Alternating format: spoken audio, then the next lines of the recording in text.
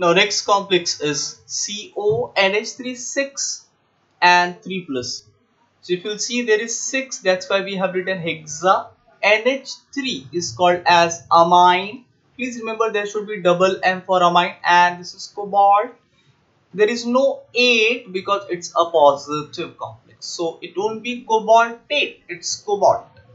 In order to check the charge, this cobalt is taken as X. Ammonia is what 0. So this X plus 0 into 6 is equal to plus 3. So this charge will be X is plus 3. So the name is justified over here. It's hexaammine cobalt 3 ion.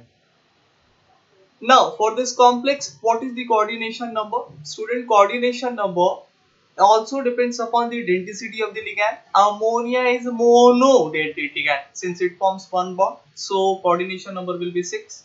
Here the ligand is NH3 which is referred as ammine. Now the type of ligand ammine is acting as strong field ligand and it is nitrogen donor ligand. So in short please remember nitrogen donor and carbon donor ligands are what stronger ligand the central metal atom which is present over here is what cobalt. This cobalt, the atomic number is 27. Again, the configuration is same. It is 4s2 3d7. And the next orbital of the valence should be what vacant.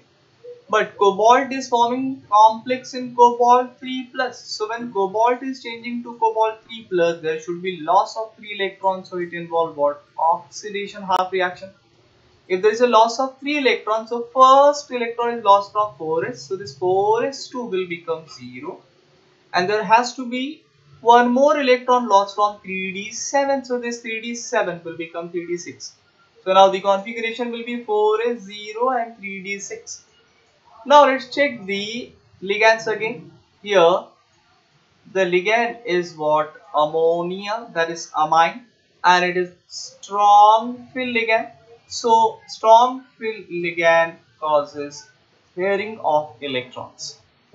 Student, if you will see, for coordination number 6, we require 6 vacant orbital. And if there is a strong field ligand, there is a pairing of electron. So please remember only those unpaired electron will get paired which provides required d orbital.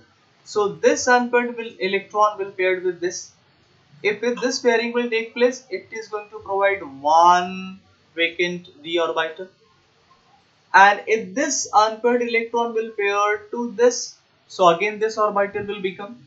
So total number of the vacant orbital which will be provided after pairing of the electron should be what through.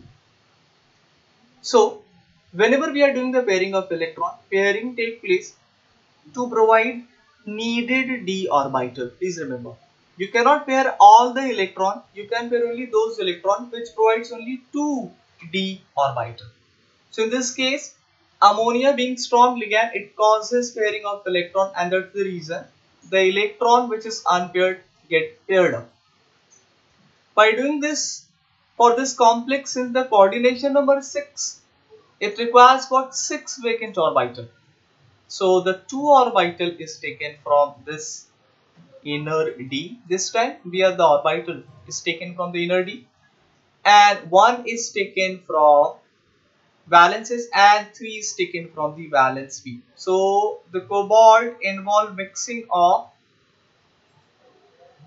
two inner D orbital, one valences orbital and three valence p orbital. So if you count it, the total number of the orbital is 1, 2, 3, 4, 5 and 6.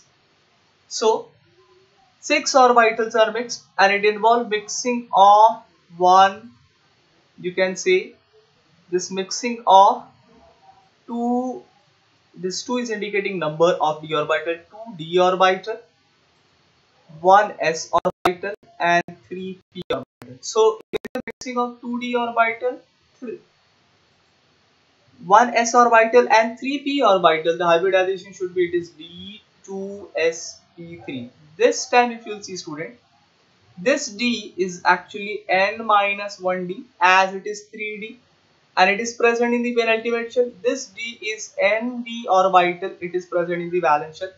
So valence shell d orbital is not participating in the hybridization. This time hybridization is done by the d orbital of the penultimate shell that is inner shell. So this is going to form what inner orbital complex. After mixing we are getting 6 hybrid orbital. So if you will check this ligand if one ammonia molecule is taken its denticity is 1 and it provides one lone pair. So if you will 6 ammonia molecular denticity will be 1 and it is going to give 6 lone pair. If there is a 6 lone pair so means total electron will be 12 electrons. To accommodate 12 electron we require 6 orbitals so how to fill 12 electron it will be 1 2 3 4 5 6 then 7 8 9 10, 11 and 12. So there are 12 electron which is filled. So overall student if you will see the electron electronic configuration of this overall complex.